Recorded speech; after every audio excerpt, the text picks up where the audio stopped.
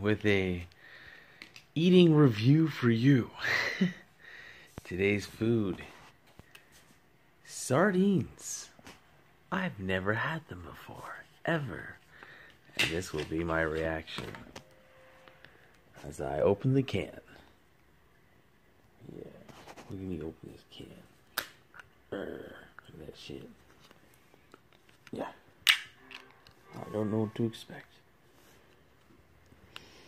It stinks really bad. Oh my god. Ugh, is it supposed to look like that? Oh.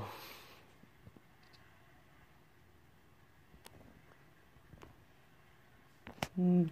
Oh, I my shirt.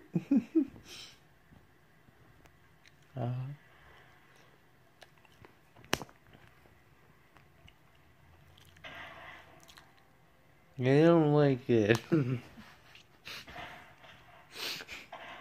it tastes really bad. It smells gross. That's the last chest I expected to find. Well, not me. I mean you. By the way, the sardines taste really bad. I don't like them. no. it smells bad too. Uh. Yeah.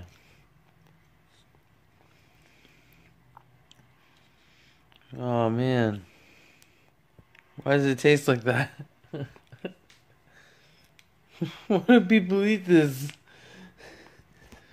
what's wrong with the world? oh, it's gross.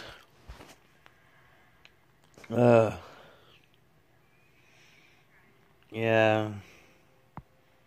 Yeah, I'm not a fan of it.